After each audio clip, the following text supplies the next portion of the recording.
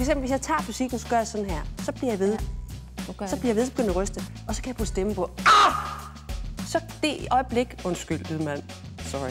Ja, nu er der en død nede i.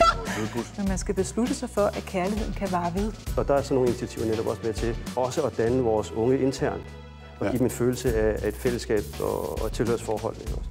Jeg tror, at den der hverdagsheroisme i virkeligheden er det, der bærer familier, eller bærer et land, eller måske ovenkøbet bærer hele verden. Se projekter, der er vækket til live af vilje, indignation, livsmod og passion.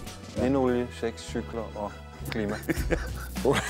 Det var da en god passionsanretning, vi fik lavet, synes jeg, Ole. Ej, det var sjovt. Ja, det var meget god, ikke? En passionsanretning. Ja.